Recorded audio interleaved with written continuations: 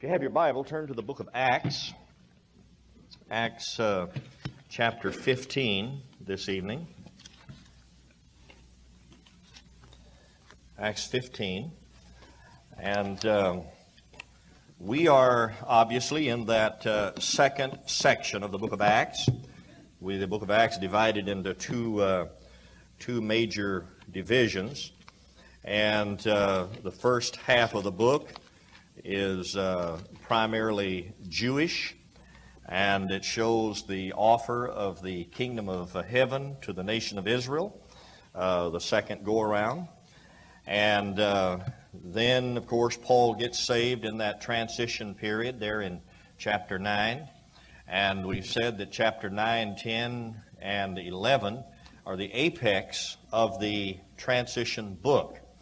Uh, Acts is a transition book, and there's no other way. There's no way to understand it other than that. And then the the very apex of that transition is chapter 9, 10, and 11. Chapter 9, Saul of Tarsus gets converted. In chapter 10, Peter is sent to Cornelius, a Gentile. Chapter 11, he goes back and rehearses this and gives an account. And then uh, in uh, chapter and, and, and I should include chapter 12 in that as well, because chapter 13 is the beginning of that second uh, division where uh, Paul and Barnabas are called by the Holy Spirit to go on their first missionary journey. And uh, so tonight we want to look at chapter 15 in the book of Acts. This is one of the most important uh, chapters in the book uh, because it deals with this problem of uh, Judaism and it just simply serves to, uh, to confirm that Judaism is being set aside, the law was set aside, and uh, that the Gentiles are not under the law. And we'll talk about that tonight. Uh, Peter uh, was confronted earlier uh, when he in, in, by those in Jerusalem after he'd made his vi- uh, visit to Cornelius there in chapter 10 and chapter 11 was that confrontation. And uh, when Peter came back in chapter 11 and rehearsed what had happened at, uh, in Caesarea, how that he was speaking and the Holy Ghost fell on the Gentiles, those that heard the word of God, and God had granted to them the Holy Spirit. And of course, uh, Peter had with him six brethren, Jewish brethren, who confirmed his testimony. Uh, when the Jews back at Jerusalem heard the full story, they were glad, the Bible says. It says they were glad that God had granted repentance to the Gentiles. Now, God granted repentance to the Gentiles. I don't have time to talk about that, but it's talking about the Gentile nations. Uh, prior to this, the Gentile nations uh, were required to come to God through the nation of Israel. But now God has granted repentance to them. Uh, they could they could now come to God without the aid of Judaism, without uh, the ministry of Israel. Uh, God had granted a favor to, to the Gentile nations. Um, the uh, the time of the Gentiles began uh, there in about uh, in when Nebuchadnezzar came in and carried away uh, the captives when Jerusalem was destroyed and the Babylonian captivity started, that 70 years. And uh, from that time to this, Israel ceased to be a favored nation. They were set aside, and the times of the Gentiles began. But uh, still, a Jew, still a Jew, or still a Gentile, uh, had to come to God uh, as a Jewish proselyte and uh, if they were going to be part of the millennial kingdom. And uh, but at this point in Acts chapter 10, that all changed, or was beginning to change, and started to change. And so now repentance was granted to the Gentiles without the aid of the Jews and without them becoming Jewish proselytes. Something absolutely unheard of had taken place. And uh, so when the Jews heard that, there in Jerusalem, they were glad. There was a church started at Antioch as a result of the uh, dispersion or the scattering uh, of the uh, believers because of the persecution of Saul of Tarsus, and Stephen, of course, had been stoned, and and uh, they, they, the Bible says they scattered. They went everywhere preaching the gospel to none but Jews only. But uh, finally, there was a church started there in Antioch, a Gentile uh, city, and its numbers grew, and it was a mixed congregation. It had within it Jews and Gentiles. And uh, uh, Paul and Barnabas, of course, were called to minister in that church. They needed teachers and they needed helpers to minister. So Paul and Barnabas went there and they worked for quite a while. And as they ministered, the Holy Ghost instructed them to take the gospel of the grace of God to the Gentiles. And after returning from a very successful missionary trip, which we dealt with last Thursday night, uh, they found out that uh, there was some trouble in the church when they got back. They'd left the church a while and they came back to trouble. And uh, you can bet on that when a pastor or a missionary leaves his field for any length of time, he's going to come back to trouble, usually. Usually that's what will happen. And so they came back, and the Bible says they abode there a long time. Now, here in chapter, uh, here in chapter 15, uh, when it says in verse 1, And certain men which came down from Judea taught the brethren, and said, watch this, except you be circumcised after the manner of Moses, you cannot be saved. You see that? Here were folks coming down from Judea and Jerusalem, and they were teaching these believers at Antioch, saying, Unless you be circumcised and keep the law of Moses, you may have believed on the Lord Jesus Christ, well and good, but you still have to keep the law of Moses. So at some point in time, while Paul and Barnabas were gone on this first missionary trip, men came down from Judea and they came to this church at Antioch and they taught these believers that circumcision and the keeping of the law of Moses was necessary for their salvation. In other words, it was necessary if they were going to be saved, according to verse 1. And, uh, and you know, this was a subtle attempt. This all was a subtle attempt to bring the Gentile believers under bondage to, uh, and the control of the Jews. And that's, that's as old as time. And uh, this statement here in verses 1 and 2, these comments, these uh, uh, requirements, they went exactly contrary to what, uh, what Peter had reported back at Jerusalem.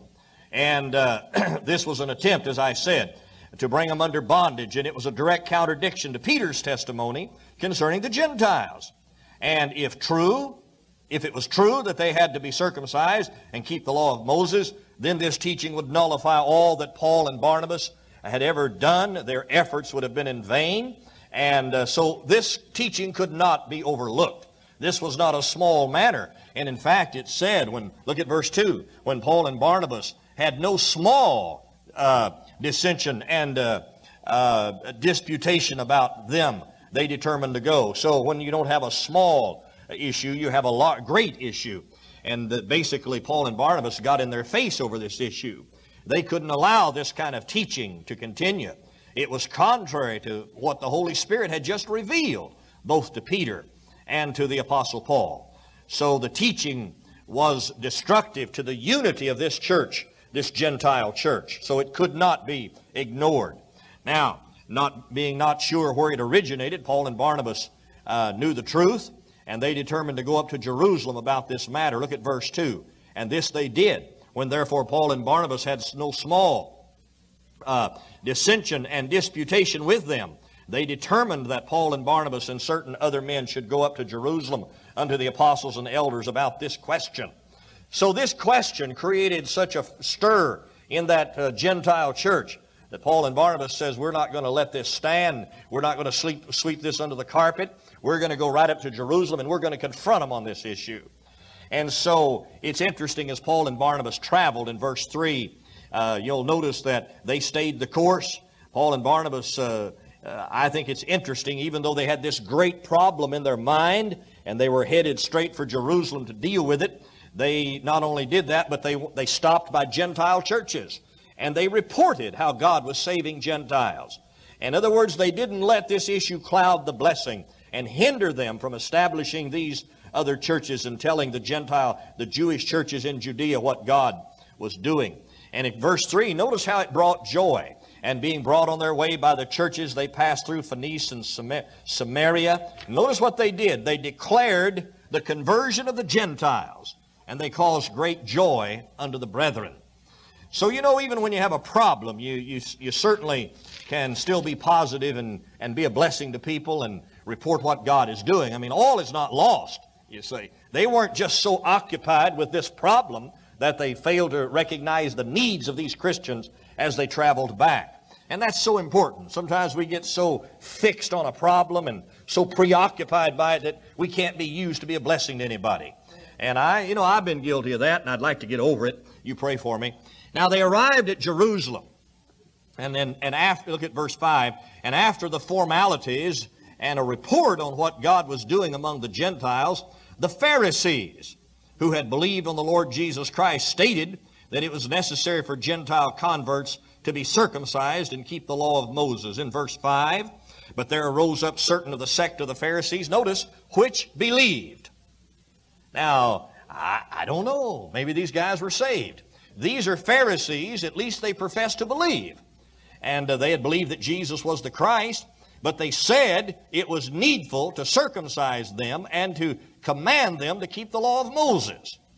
And uh, so all I know is what the text says. It says they believed and uh, that they were teaching false doctrine here. And, uh, and at this time, a private meeting took place. And uh, uh, the disciples met together with Paul and Barnabas and Peter and a few others.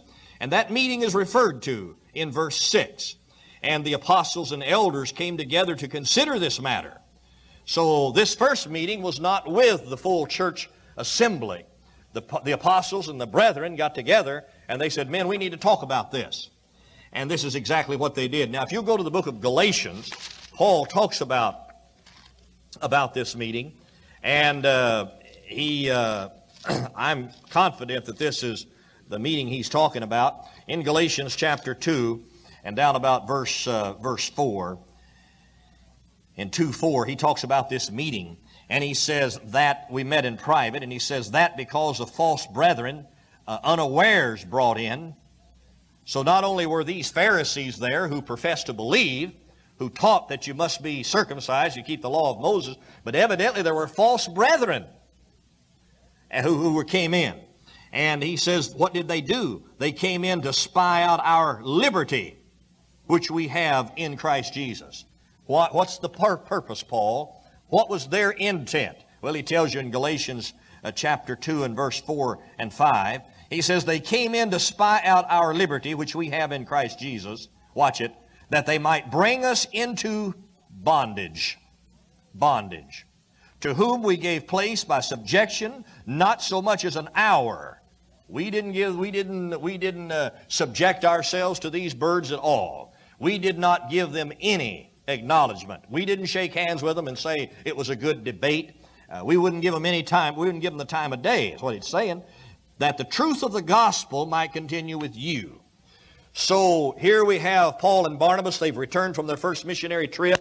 They come back to Antioch. They realize that their church has been infiltrated by some false teaching. These Jew, these Gentile believers, you can just imagine the, uh, the, the, the trouble and the anxiety that must have been in their heart. So Paul and Barnabas headed right straight for Jerusalem. And on the way, they stopped and they stopped at some churches and they reported how God was blessing and saving Gentiles. And that was an encouragement to these churches. And then they went on down to Jerusalem. There were the disciples. There was Peter. They had a private conference because some false brethren had been brought in. And their purpose was to spy out and try to find fault and just to create more havoc. So they got together. Now, evidently, now they move out into the congregation, and Simon Peter is the first person to speak. And Peter says to them, uh, you, you ought to notice, first of all, that it should be understood that the outcome of this meeting was planned of God. That is, this entire meeting here in Jerusalem was planned of God. Now, you may not remember a comment that I made some weeks ago but when Simon Peter went and was, when Simon Peter saw the vision of the sheet let down from heaven, and he was told three times to go to Cornelius, and he took six men with him to be a testimony. And Peter is there preaching to Cornelius. He's really not preaching to him, he's just reporting on the life of Jesus Christ. And while he's doing that, without Peter's consent, without Peter's awareness of it, without any approval, the Holy Spirit of God descends on those Gentiles. They begin to speak in other languages, and everybody's astounded, astounded that this takes place. They marveled and, that God had done this. And so Peter says, Fellows, these guys have received the Holy Spirit just as we did at the beginning. Who can forbid water that they should be baptized? And so they baptized them. They didn't lay hands on them. They didn't try to, they didn't, all he could do is say, let's baptize them. We don't have any other recourse. So when he goes back in chapter 11, he reports it. Now I said to you when that happened that Simon Peter was, was, was being used for evidence at a later time that God was turning from the Jews as a nation and raising up the Apostle Paul and confirming Paul's ministry and turning to the Gentiles. Now then, Simon Peter is the first spokesman, and he uses that bit of evidence that took place back there in chapter 10, just as I told you he would. And so it needs to be understood that the outcome of this meeting here in chapter 15 was planned by God when he called Simon Peter back there in chapter 10. And that was the very reason God selected Peter to go to the Gentiles in Acts chapter 10. The means and the outcome of this meeting would be the key to establishing Paul's ministry to the Gentiles in the eyes of all. I'll say it again. The means and the outcome of this meeting would be the key to establishing Paul's ministry to the Gentiles in the eyes of all. It needs to be stated that Paul was not receiving authority or commission from this church at Jerusalem. That had already been established by God on the Damascus Road. So keep in mind, this church at Jerusalem was not giving Paul any authority. They, they didn't have any authority. Paul had been given the authority on the Damascus Road. So the events here in Acts chapter 15 are only a confirmation to the Jews that Paul's ministry was just as valid and authoritative as that of Peter and the eleven. So notice what Peter says in verse 7. And when there had been much disputing, Peter arose and rose up and said to them, Men and brethren, you know how that a good while ago God made choice among us. Now, when he says men and brethren there, he's talking to the 12 apostles, or the 11, because he's one of the 12. He's one of the 12. And notice what he says. You know how that a good while ago God made choice among us that the Gentiles, by my mouth, should hear the gospel. Now you want to think about that. How that a good while ago God made choice among us, the twelve, that the Gentiles should hear the gospel by my voice. Well, what do you think that does to Acts, Matthew, Matthew 28, 19, and 20? Now think about that. If Matthew 19, 28 and 20 was a commission to go to the Gentiles, to, given to the 12, then what does this mean? You understand what I just said to you? That means the commission in Matthew 28, 19, and 20 primarily was given to the disciples to go to the 12 tribes of Israel, not only in their land first, but to the dispersed throughout the Gentile world. That's what they were supposed to do. But it became evident that the nation of Israel at home was not going to repent. So God said, okay, we'll change the course. I want you, Peter, to go to this Gentile family. Otherwise, that statement has no meaning. Doesn't have any meaning at all. And I'll elaborate on that, but I want you to notice P- Peter's words. God made a choice among us that the Gentiles, by my mouth, should hear the Word of God. Now that's significant in the light of this erroneous belief that God had given to the apostles in the so-called Great Commission of Matthew 28 orders to go and preach to the Gentiles. While if he'd, listen, if he'd given the orders in Matthew, uh, Matthew 20, uh, uh, 28, 19, and 20 to go to the Gentiles, then what does this mean? It means nothing. So finally, God finally stepped in and made a choice and said, okay, Peter, I want you to go to the Gentiles. Which he did, which he didn't want to do, did he? Well, listen, if that commission in Matthew 28, 19, and 20 had been understood that they were to go to the Gentiles, then why is Peter so reluctant? You say, well, Peter was prejudiced. He didn't, didn't want the Gentiles saved. Nonsense. Nonsense. Peter knew that the Gentiles were supposed to be saved. But the problem was that Israel was supposed to repent first, which they didn't. Which they didn't. All right. Now down in verse, uh, down in verse, uh, uh, matter of fact, it says that, and all other, all others were Jews or Jewish proselytes. That is, uh, anyone Anyone uh, who, uh, until Peter received this vision in Acts chapter 10, not one Gentile had been preached to. All others were Jews or Jewish proselytes. Now that's something to think about. Look at verse 7 again. Peter rose up and said to them, Men and brethren, you know that a good while ago God made choice among us, that the Gentiles by my mouth should hear the word of the gospel and believe. Peter is quick to bring all true religion back to the heart. Because he says, God who knows the heart.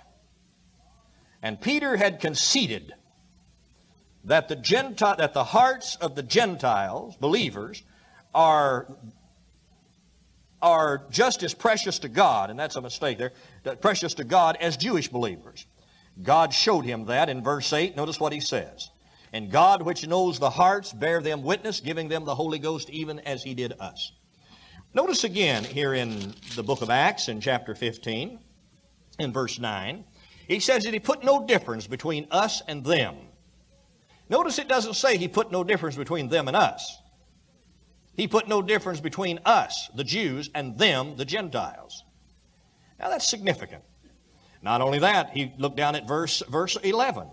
But we believe that through the grace of God in the, and, and through the grace of the Lord Jesus Christ, we shall be saved even as what?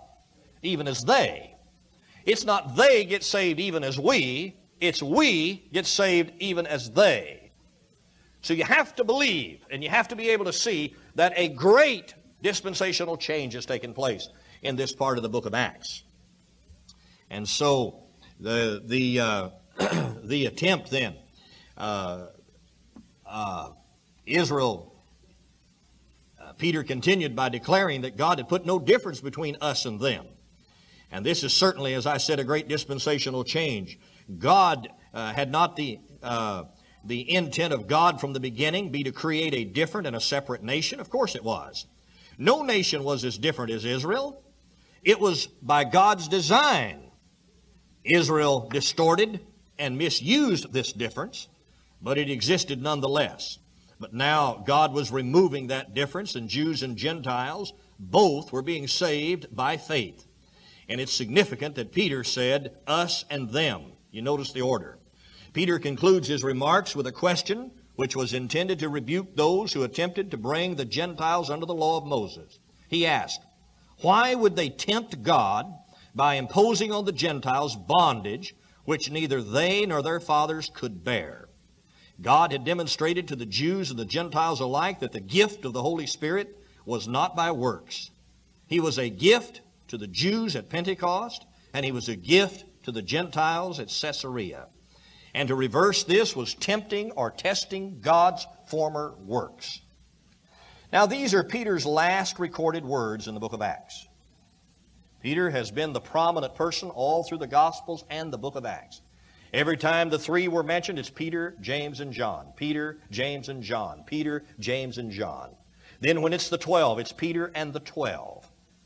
But this is the last time in your Bible Peter ever says anything, with the exception of the epistle, first and second letter that he wrote to the Jews that were scattered.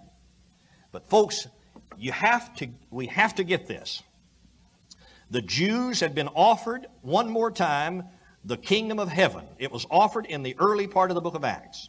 It became evident, and Peter was the, was the spearhead of all of this. He was the chief spokesman. He was the leader. But all of a sudden, it became evident that the nation was not going to repent, and God was going to set the nation aside. And Peter, their representative and the head, disappears at Acts 15. He's never mentioned again. Now, you think about that. Well, what's Luke's purpose? Luke's purpose is to show you and me that Paul's ministry was just as valid and God sent as was that of Simon Peter. And that's what he's going to do. And so, uh, this is, these are his last recorded words in the book of Acts. Peter, the prince of the apostles, the obvious leader and spokesman of the twelve, uh, the one that God used to open the door to the Gentiles, was admitting that God no longer needed Israel or Judaism to save Gentiles. He was conceding that the ministry of Paul was from the Lord of heaven, as his had been from the Lord of earth. His statement, we shall be saved as they, is a purposeful attempt to ensure that the Gentiles are not placed in an inferior position to the Jews. It is not they will be saved as us, it is we shall be saved even as they. Now, these are the last words of Peter, and the intent of the writer ought to be evident. Peter was an apostle to the Jews. His base of operation was Jerusalem. He had the authority to loose and bind, and that was granted by the Lord Jesus. He exercised that power of binding in the matter of Ananias and Sapphira. He now exercises the power of loosing. And this is the last recorded act of Simon Peter. Peter, Judaism, Jerusalem, and the kingdom of heaven, and the twelve give way to the Apostle Paul, and they fade out of existence. They're gone. They're gone. It's not about them anymore. It's not about the 12, not about Peter, it's not about Jerusalem, it's not about Judea, it's not about tongues, it's not about signs. It's about grace and Gentiles and the Apostle Paul. Now, Paul and Barnabas stands up. Simon Peter's had his say. Now it's Paul's say. So, so you'll notice um, in verse 12, then all the multitude kept silent and gave audience as Barnabas and Paul declared. And by the way, notice the order Barnabas and Paul. At Barnabas and Paul declared what miracles and wonders God had wrought among the Gentiles. So that's basically what he says. They declare what wonders, and that's all it said. They declare to this Jewish assembly what wonders God had wrought among the Gentiles. Peter has established that God gave the Gentiles the Holy Spirit without the aid of the Jews. Now Paul stands up and, and Barnabas and they declare how God has worked among them. And so Paul and Barnabas give a brief report on how God confirmed their ministry among the Gentiles with miracles and wonders. The reference to miracles and wonders was necessary and would confirm to the Jew, Jewish mind that God was working through Paul's ministry. The entire Jewish nation was built on signs and miracles and wonders. This was introduced through Moses, who was the head of their nation. Would you turn to 1 Corinthians chapter 1 and verse 22, please? 1 Corinthians 1 22. I want you to see an important verse that you need to mark in your Bible. 1 Corinthians 1 22. Notice what it says. It says, For the Jews require a sign. You see that? The Jews require a sign. You don't require a sign, and if you did, you wouldn't get one. But the Jews require a sign. Now, you might want to write down alongside that 1 Corinthians 14 22. And those are two verses that you just kind of need to jump back and help you to understand something there. But this requirement was met at Pentecost and at Caesarea, and now in the ministry of Paul.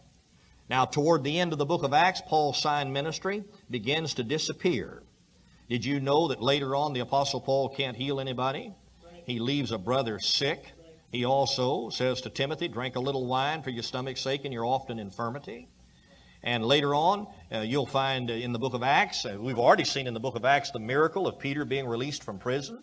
And in the early part of the ministry here of Paul, we'll see him released from prison. There's an earthquake at Philippi, and their chains fall off. But later on, Paul can't get out of prison. He can't get out. In fact, they keep him in a prison, and finally they lead him out and chop his head off. Do you see how things are changing as you move through the book of Acts? And so, uh, uh, in verse 12, the apostle, and let me just say this for those of you taking the note, that one must keep in mind that Acts is a transition book. There is a gradual fading of apostolic signs and a gradual revelation of the new dispensation. Verse 12.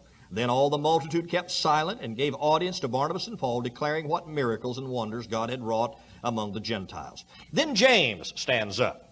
We've had Peter, he stands up and he talks about how God gave uh, the Holy Ghost to the Gentiles there at, at uh, Caesarea without the aid of any Jews. Then we have Paul and Barnabas standing up talking about how God worked miracles among the Gentiles without the aid of any Jews. Now James stands up. And he's the last person. And remember, this is not the James the apostle, one of the apostles, because he's already been killed. We, we studied that. This is James, the Lord Jesus' brother. And he is the one now who seems to be in the, the leadership position at, Jer- not even Peter, but James seems to be the key figure here at, uh, at Jerusalem. And watch what happens in verse 13.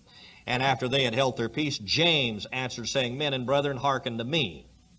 Simon hath declared how God at first did visit the Gentiles to take out of them a people for his name. And to this agree the words of the prophets, as it is written. After this I will return and build again the tabernacle of David, which is fallen down. And I will build the ruin. I will, I will build again the ruins thereof, and I will set it up, that the residue of men might seek after the Lord, and all the Gentiles upon whom my name is called, saith the Lord, who doth these things, known unto God are all of his works from the beginning of the world. End of quote. Verse 19. Wherefore my sentence is, James says, that we trouble not them which from among the Gentiles are turned to God. You see that? Now James says my sentence is, is that we don't trouble them. They'd been troubled. They were troubled by false brethren who went up and said, you have to get circumcised and keep the law of Moses or you can't be saved. James says, no way. God tells us very clearly in the Old Testament that He's going to save the Gentiles. Now I want you to get that. Peter knew that Gentiles were going to be saved. And James knew that Gentiles were going to be saved. And all the twelve knew that Gentiles were going to be saved. So this reluctance to go to the Gentiles in the early part of Acts is not a prejudice thing. That is not the issue. The issue is that something vitally important and scriptural was supposed to happen before the Gentiles got saved. Do you understand that? And the thing that was supposed to happen is just what it says in that text in verse 16. I will return. Well, he hasn't. And I will build again the tabernacle of David that is fallen down. He hasn't. And I will build again the ruins thereof and set it up. He hasn't and the residue of men might seek after the Lord, and all the Gentiles upon whom my name is called. This thing is a prophetic thing that would have happened had Israel repented. But they didn't repent. But James says, the scripture says that God is going to save the Gentiles, so we just better leave it alone. We don't fully understand, James is confessing, what is going on here. But the Gentiles are being saved, and God gave them the Holy Ghost like He gave us at the beginning. We'd better stay out of it and leave them alone. You, get, you understand what I'm saying here? Leave them alone. Peter said, Who was I to resist God? Okay. Now, James, the brother of our Lord, one of the, one of the James, uh, James, the brother of the Lord, one of the apostles, was killed by the sword, or the brother of John. The James here is the brother of the Lord Jesus Christ, the author of the book that bears his name. He held a powerful position in the church at Jerusalem and is the final spokesman at this conference. It's significant that Peter re- requests that James be told in his uh, uh, prison epistle. Uh, it is significant that Peter requested that James be told about his escape from prison. We, we talked about that in Acts chapter 12 and verse 17. You'll notice that his name is mentioned with the brethren. James, not Peter, is the voice of authority here at Jerusalem Church. Later, while at Antioch, Peter ate with Gentile believers until he saw brethren coming from James. And in fear, he withdrew himself from the Gentiles. Look at Galatians 2 with me, will you? Let's turn to Galatians chapter 2. And let me uh, show you what goes on here. I say later, possibly later, maybe not later. But nevertheless, it happened. Look at Galatians chapter 2 and verse 11. But when Peter was come to Antioch, Paul said, I withstood him to his face because he was to be blamed. For before that certain came from James. Now notice that. My point is, he came from James. That shows you the important position that James is occupying at this time. before that certain came from James. Why would he say from James? Well, evidently because James was the leader of the church at Jerusalem. And uh, certain brethren are coming up, and Peter's afraid they're going to go back and tell James, we saw Peter eating with Gentiles. So there in Galatians chapter 2, verse 11 and 12, for before that certain came from James, he did eat with Gentiles. But when they were come, he withdrew and separated himself, fearing them which were of the circumcision. So you can understand a little bit here that Peter is still not too comfortable eating pork with a bunch of Gentiles. Now, James then makes reference to Peter's ministry to the Gentiles, and then he shows that this action of Peter's is not inconsistent with God's mercy to the Gentiles or to Scripture. And what he does is he quotes the book of Amos in chapter 9, verse 11 and 12. Now listen carefully. He quotes this scripture to show that God is going to save Gentiles during the tribulation and the millennium. And that is what that passage is about there in Amos. It is not a prophecy or a reference to the church age. And uh, even in Revelation chapter, nine, chapter 7 and verse 9, it says, After this I beheld, a, and, and lo, a great multitude. And that's in the book of Revelation in the middle of the tribulation. A great multitude which no man could number of all nations and kindreds and tongues, as stood before the throne. And uh, this passage reveals that multitudes of Gentiles will be saved during the tribulation period as the gospel of the kingdom is preached throughout the whole world. Isaiah rejoiced. Would you turn to Isaiah with me? Isaiah rejoiced that, that the Gentiles will, be, will come and worship God at Jerusalem in the millennium. So, what James is saying here is that the Bible makes it very clear that the Gentiles would be saved. in Isaiah chapter 2 and verse 2, Isaiah says, And it shall come to pass in the last days that the mountain of the Lord's house shall be established in the top of the mountains and shall be exalted above the hills. And by the way, that word mountain is his kingdom. And the hills are the little kingdoms, the governments of the world. And all nations, look at that, and all nations shall flow into it like a river flowing into the sea. And many people, that's Gentiles, will come and say, Come ye, and let us go up to the mountain of the Lord, to the house of the God of Jacob, and he will teach us his ways, and we will walk in his paths. For out of Zion shall go forth the law and the word of the Lord from Jerusalem. And he shall judge among the nations, and shall rebuke many people, and they shall beat their swords into plowshares and their spears into pruning hook. Nation shall not uh, lift up sword against nation, neither shall they learn war anymore.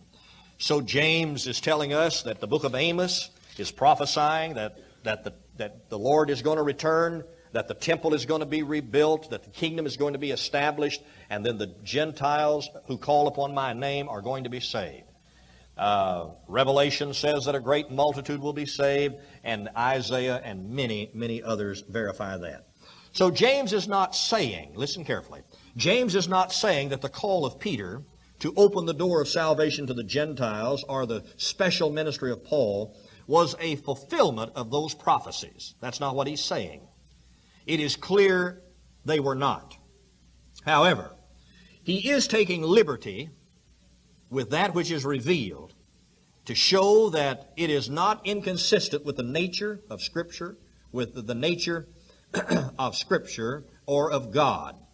The quote by James is clear that it is a reference to the literal tabernacle that will be built in Jerusalem, to which all nations will come and worship and pray in Isaiah 56 7.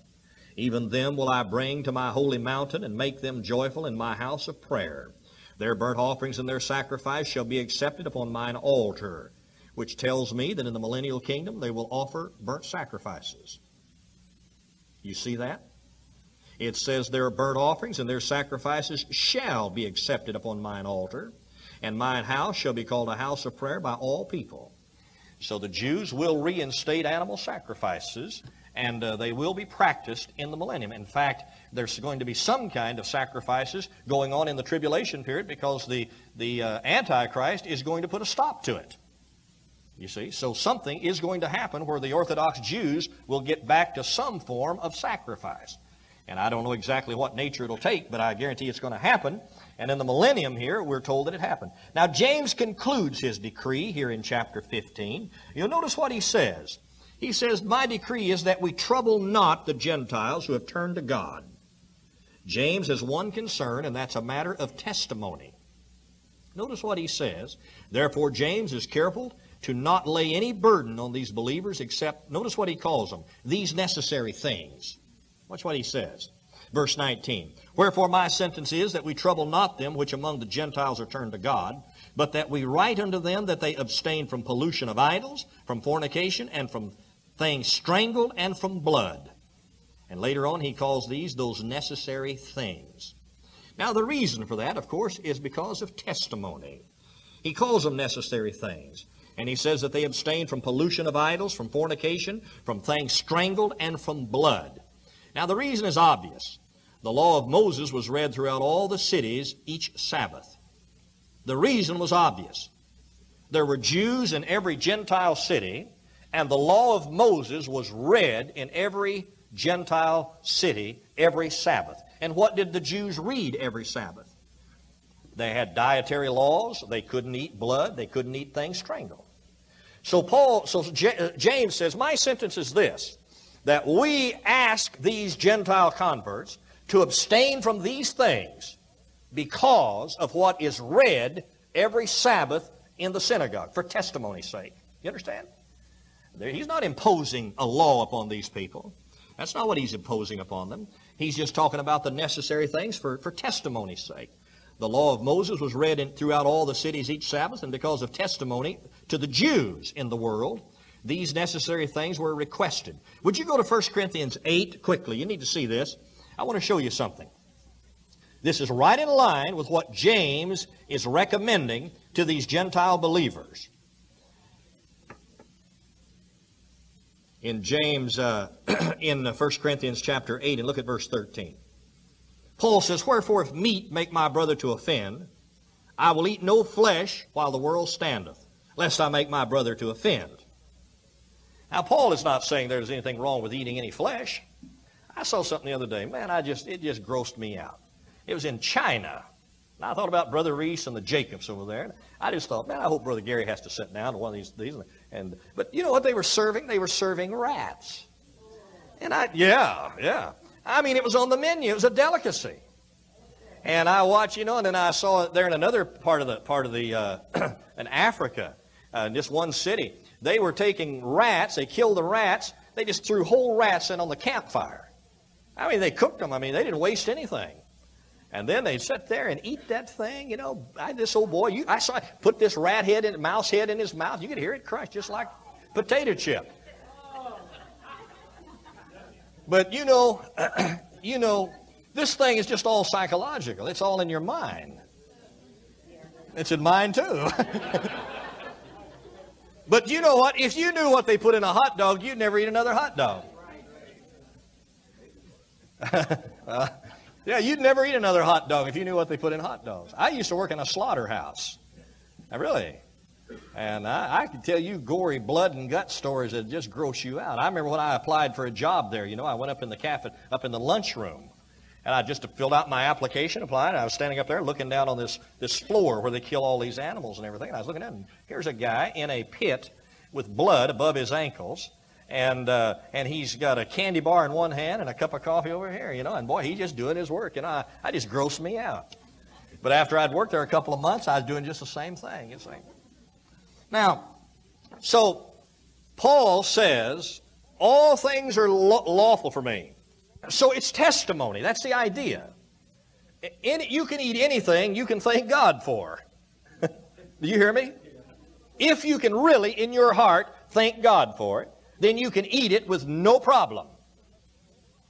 But let's suppose uh, you're sitting there and you're about to eat something, and some Gentile believer uh, speaks up and says, You know that was offered to an idol. Then Paul says, Don't eat it. But not because of the idol. He says, You don't eat it because of the conscience of the man who said that. You get the. It's testimony. It's a testimony thing. I got another reference I want you to look, look at. Uh, look at. Would you look at Romans 14, 21 quickly? I'm just about through here, and I want to finish this this evening. Um, in Romans 14, 21, Look what he says. It is good neither to eat flesh, nor drink wine, nor anything whereby thy brother stumbleth, or is offended, or made weak. He says you don't eat anything. I wouldn't go into a Jewish new, new, new convert in a Jewish home and sit down or take him out for lunch and say, uh, you know, let's go over here to Tony Roma's and have some pork ribs. Well, we, it'd, be, it'd be acceptable, but it would be a poor testimony to him. You understand? That's what he's talking about. So when James says Moses, the law of Moses, is read in every synagogue every Sabbath, and these things are read, therefore, I think it's necessary that we write to these Christians who have been saved by grace and we suggest to them this isn't a law that they have to follow, but he's recommended to them that they abstain from these things. Now, we know idolatry is not acceptable. We don't we? We stay away from idolatry. Uh, and we know that, uh, uh, you know, that it's not too healthy to eat blood pudding and stuff like that. And if you kill an animal, you ought to drain the blood out of it. But there's not in every person that knowledge. Don't you understand that? You're in a Western society that was built on the Word of God. But I'll tell you what, you go into country, I've been in Korea. I walked down the streets of Korea. I walked down the streets of Korea, and they had dogs in cages. By the way, let me tell you what. First time I went to the Philippines, I went up to uh, Angeles City. Uh, it's, it's destroyed almost. The air base was destroyed and everything, but I was there when that thing was in full bloom and, the, and, and preached right next to the air base. I stayed with a missionary, uh, a brother Quinlan. He has a twin brother over in, in, uh, in, in, in Yakima as, who's pastoring. Homer Qu- Quinlan is the pastor over there. His twin brother over in uh, Angeles City, and I stayed with him. Soon as I got out of the bus to go to his house, he told me, he says, jump in my Jeep. I got to go find my German Shepherd. We never found him. At least we don't think we did. You know what he said to me? He said, if they catch my dog, they'll eat him. You don't find dogs running the street in the Philippines. No, you don't. And you don't find dogs running the street in a lot of places in Korea. Now, do you hear me? Now, I don't know if it is would be any worse to eat a dog than it would a possum. Or any worse to eat a house cat than it would a squirrel. Now, I'm not, don't, don't worry, your cats are safe around me. And so's your dog. But I'm just wanting you to see that you may not be as sanitary as you think you are. I mean, you ever see anything dirtier than a chicken? Huh? You ever see anything dirtier than a chicken? I grew up on a farm. I know what chickens will eat. They'll eat anything. Do you know what a possum will eat? He'll eat anything. Anything. An old dead cow rotting down alongside the pasture. You go down there, you have to run the possum off. You want to get part of it, you got to run him off. He's got his head in there eating that thing. You know, I mean, really. You know, you wouldn't think about eating a slug, but you eat all kinds of things that come off the bottom of the sea and all kinds of stuff, you know. And there's nothing wrong with it. But I, we're just a lot of self righteous, pious people. We think, oh, no, our diets are just right. Theirs is strange. I heard a missionary one time. He, uh, he uh, went to a, to a place, and no one had ever been there. And uh, right outside this hut, this little village, it was several people in kind of a village, there was a fence post. And this fence post outside this house was just glazed. It just, it would shine. It was slick. And he had no idea what this fence post was. And finally he asked the guy, and he says, well, that is where we put our snot. Mucus, for some of you. He says, what do you mean? And this guy just blew his hand full of it and went over and wrapped it and wiped it on the post. He said, that's the worst thing. That's the worst thing I have ever seen. And the mission and the and the natives said, No. The worst thing I've ever seen is you white people, you take a little piece of cloth out of your pocket, and then you blow it full, and then you keep it.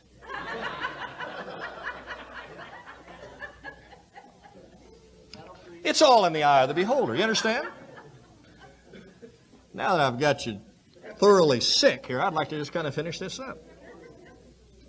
So then, so then, uh, so what James does then is he concludes with a decree that we trouble not the Gentiles. And the reason is for testimony. Now, I'm down at the bottom of that page. He said, uh, we read that men of reputation and character were sent to accompany Paul and Barnabas as they returned to Antioch with this good news. Uh, these men that traveled were Silas and Judas. They are called chief men among the brethren. And this letter would assure all concerned that the of the apostleship of Paul that the apostleship of Paul was fully recognized by Peter and the eleven, James and the brethren. Those who had troubled the Gentile believers were subverting their souls and were not authorized by the Jerusalem church or the twelve.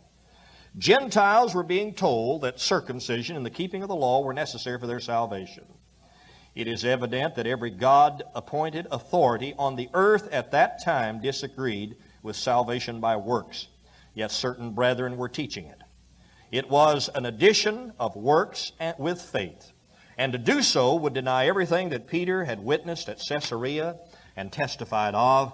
The teaching of the Judaizers was a complete contradiction to what God had revealed to Peter and Paul. Well, they get back to Antioch, Paul and Barnabas. The congregation was gathered, the letter was read. The results was a joyous conclusion. And we must commend, we must uh, comment on the effects of sound doctrine. It brings great joy to those who are saved and love the Lord Jesus Christ. You must think of the fear and the anxiety that these believers endured until they heard the truth about faith being complete, uh, being uh, completely apart from works. Notice that this salvation cannot be achieved by works, nor can it be lost without works. It is free and it is eternal. It is important that we note what James did not say when he wrote. He did not tell these believers that they had to keep the Sabbath to be saved. That eliminated the Seventh day Adventists. He did not tell them they needed to be baptized to be saved. That eliminated the Church of Christ and 90% of Christendom. He did not tell them that they must eat the sacraments. That eliminates every Roman Catholic. In fact, there was not one thing they were required to do to be saved other than believe on the Lord Jesus Christ. The only request made by James was that, for testimony's sake, among the Jews, they refrain from those four things. In summary, the primary purpose of the Holy Spirit in this chapter is to establish the ministry of Paul to the Gentiles. The special call of Peter to Cornelius was intended by the Holy Spirit to confirm the new direction of the Lord and the call of Paul Jesus had accused Jewish leaders of compassing land and sea to make one proselyte, and when finished, they made him more the child of hell than themselves. This is just the situation that prompted the meeting at Jerusalem. Jewish brethren had traveled to the Antioch church to teach them that they must be circumcised and keep the law of Moses if they were to be saved. Paul and Barnabas went to Jerusalem to correct this matter. After testimony from Peter and Paul and James, it was agreed that Gentile churches should not have any unnecessary burdens imposed on them. Their only concern should be to present a good testimony to the Jews, and perhaps that would provoke them to salvation. Now, folks, nothing has changed. There's always somebody, some group, somewhere trying to add one more thing to your conversion. And you know what the goal is? It's to bring you under bondage and under their control. People are afraid of liberty but you have liberty in Christ. Now, your liberty is not a license to sin. Your liberty is a opportunity to do right and serve God. And testimony is what's important. That's how you win people to Christ, by your testimony. All right, let's bow in prayer. Our Father, thank you again for your goodness tonight. Thank you for these, uh, for this passage of Scripture. And may we be grounded and settled in the truth, and may we not be shaken when cults and other groups come and try to impose upon us uh, anything other than faith in the Lord Jesus Christ for our salvation. Bless these folks, we pray in Christ's name. Amen.